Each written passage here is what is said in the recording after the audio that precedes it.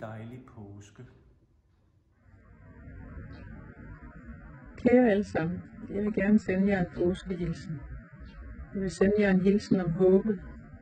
Håbet om, der kan blive fred i Ukraine, så vi kan leve sammen i Europa uden krig. Håbet om, at vi øh, ikke er syge, at vi kan være rigtig gode ved hinanden alle sammen. Så derfor en rigtig glædelig påske til jer alle sammen. Kære alle i sovnet, så er det er der påske med forårets og sommerens komme. Og i år kan vi heldigvis fejre påsken uden alle de restriktioner, som coronaen pålagde os. Jeg håber, at alle, der har lyst, også får lejlighed til at komme til påskens gudstjenester. Og jeg vil gerne ønske jer alle en rigtig god påske. Hej alle sammen. Rasmus og Heidi jeg vil gerne ønske jer en rigtig glædelig påske. Og nu er vi færdige med at sætte stemmer, og nu ser vi kun frem til, at det skal blive en rigtig forår med solskin. Hej hej. Hej hej. Hej. I dag er det langfredag. En stille morgen med bløde forårsregndrupper på træer og buske. En særlig smuk stillhed, kun afbrudt af fuglesang i mange toner. Kirken i stille udstråling i dag er Guds ord og vores bøn ledsaget af unik korsang og året, der fylder og giver mig styrke. Midt i overskrifter om sygdom, krig og ødelæggelse. Jeg vil gerne dele den styrke med dig og ønsker dig og dine en glædelig påske. Det er altid en stor glæde, når vi nærmer os foråret og påsken. Vi oplever, hvordan at træer og buske begynder at blive grønne. Vi oplever de gule påskeliljer og andre blomster, vi oplever i vores have. I år har vi også den store glæde, at vi ikke er underlagt de her coronarestriktioner, som vi har været de to foregående år. Og det gør sig selvfølgelig også udslag for vores aktiviteter i kirken og vores menighedshus. Vi har her på det sidste øh, oplevet, at vi har afslutning for vores øh, minikonfirmander Palme Søndag med stort fremmøde i kirken.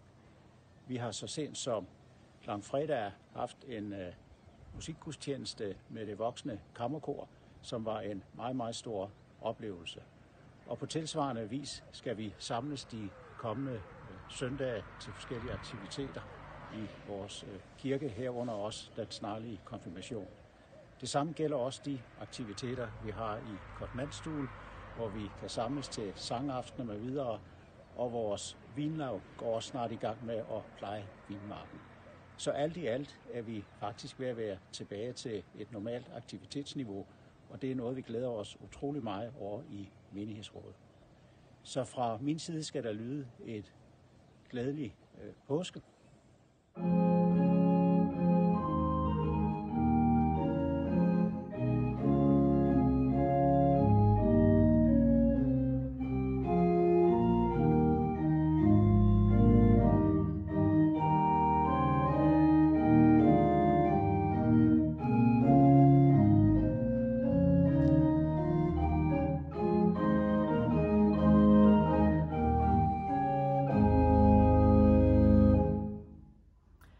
sådan en rigtig dejlig forårsdag med sol og blomster her i kirken, vil jeg ønske jer alle sammen en rigtig glædelig påske. Så er det igen blevet tid til en, en hilsen til øh, jer i Vækkerløs Sogn fra menighedsrådet.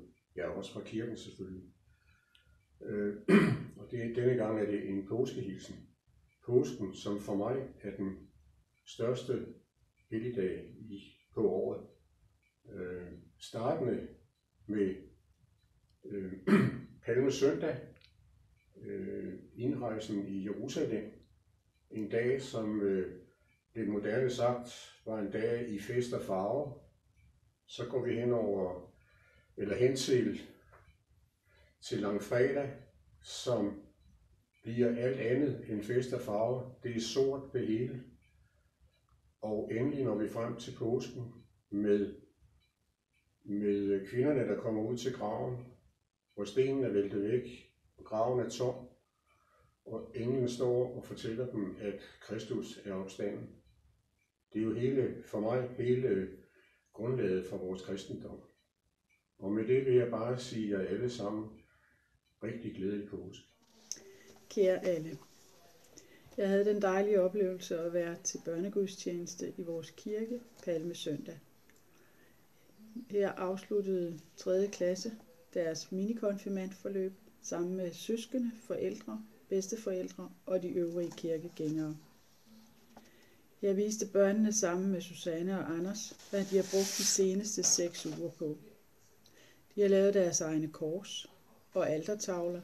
De har hørt bibelhistorier, sunget salmer med tilhørende fakter, hvilket de også gav et fint eksempel på. De har endvidere lavet tro, håb og kærlighedssymboler, som bryder troldegrenene i våbenhuset hele påsken.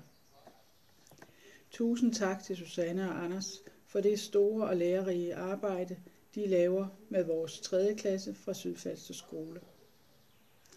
Derudover fortalte Anders om alt det, som knytter sig til de enkelte dage i påsken, med børnene som aktører, for eksempel Palme Søndag med Palmeblade. Denne gudstjeneste bragte bestemt mig i påskestemning. Rigtig god påske at ønskes i alle. Mange gange i livet er det en fortælling, der bærer os igennem, især i de mørkeste tider. Og lige nu, vi behøver have sådan en, i sådan en grad. En fortælling om kærlighed og grusomhed. En fortælling, der sikrer os, at der altid lys ved forenende tunnelen, selv under den mørkeste tunnel. Altid lys og håbet. Sådan i fortælling er påskens. Derfor skal vi gennemleve påskens undren, og med det får håb og glæde igen i vores hjerte. God påske. Goddag. Jeg vil også gerne ønske alle en rigtig god og glædelig påske. Det er jo vidunderligt, at kristendommens vigtigste højtid, påsken, netop her på vores breddegrad, falder i foråret, hvor alle naturens spirende kræfter bringer lys, liv og glæde til os mennesker. Ja, nærmest som en helt genopstandelse, kan man jo næsten sige. Og det er jo påskens vigtige omdrejningspunkt. Og så har vi også netop på denne tid denne smukke blomst, påskeliljen, som med sin lyse og glade udstråling jo netop symboliserer dette budskab. Det er i øvrigt min yndlingsblomst. Så med den i hånden, så vil jeg ønske alle en rigtig, rigtig god påske. Jeg tror, de fleste har det sådan, at der er en sang, eller måske flere sange, som betyder noget særligt for en selv, for jer.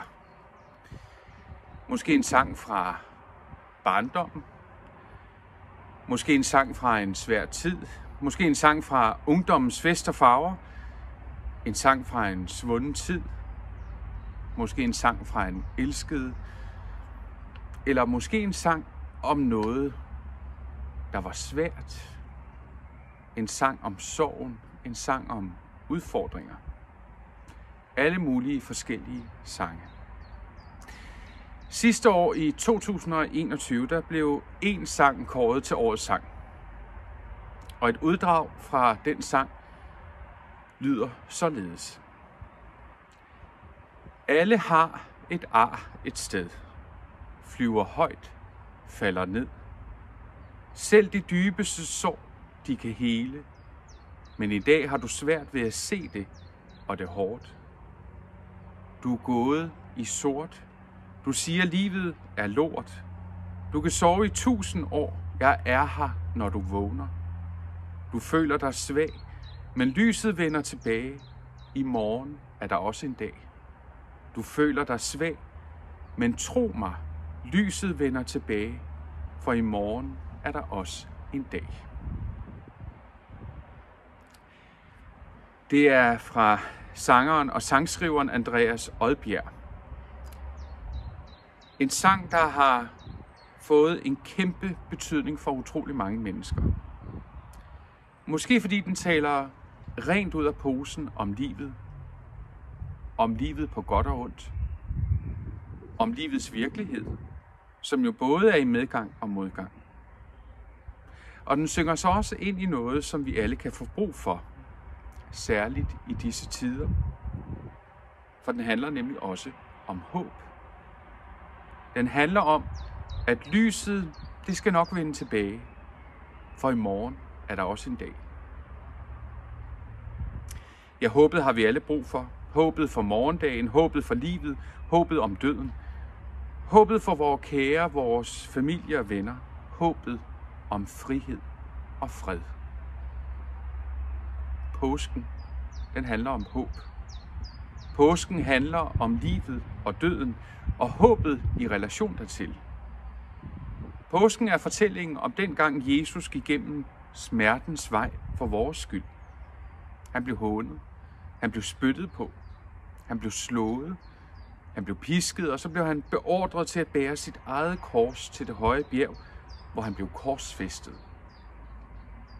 Det er fortællingen om påskedagen, om tredje dagen, da de to kvinder kommer ud til Jesu grav, som de finder tom. Det er fortællingen om opstandelsen, at Jesus opstod for vores skyld, at han gik i forvejen for os, at han gav os søndernes forladelse. Søndernes forladelse, som betyder, at uanset hvad der sker for os, ja, så er Jesus gået i forvejen, og vi andre skal følge efter. Det er der i sandhed et håb.